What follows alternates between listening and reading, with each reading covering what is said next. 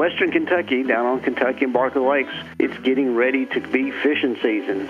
The sun has come out, the water temperature is starting to rise into the low 50s, and so it's getting that time of the year when the crappie are going to start moving up shallow. So this is a good time to start fishing the adjacent flats next to the creek channels. The crappie will be somewhat suspended, but you can do kind of a slow troll. Some people have a drift sock and they just get out there and they drift in those flats. It looks like we're going to have a good crappie season. As far as bass, a lot of fish being taken on rocky points at the mouths of the embayments. So I'd fish around the mouths and on the sides where there's some rocky shoreline just inside the embayments using spinner baits, rattle traps, jerk baits, and crank baits. Kind of seems like the big baits right now to be using. Well, this is Paul Rister, and I hope you find a good day to go fishing. This is Jeff Crosby with the Central District Fishing Report. Currently, water conditions are either flooding or a lot of the lakes are very high, especially the reservoirs. However, many of our small lakes are in good condition.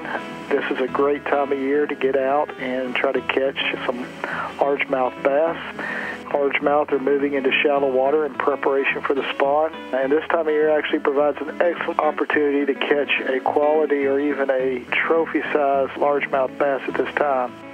You can catch a lot of these big fish at your local farm ponds, but you may want to try using jigs or plastic creature baits uh, around shoreline cover.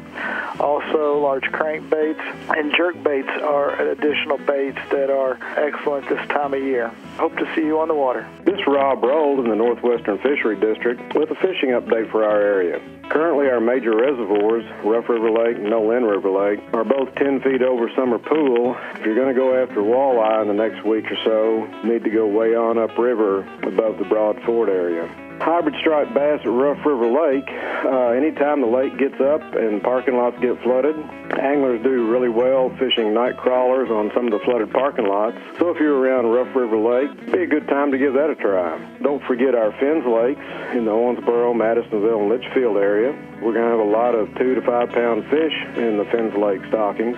So this will be an excellent time to get out and hit the Fins Lakes that are near you. That's an update from the Northwestern Fishery District. Always wear your PFDs, especially when the water temperatures are this cool.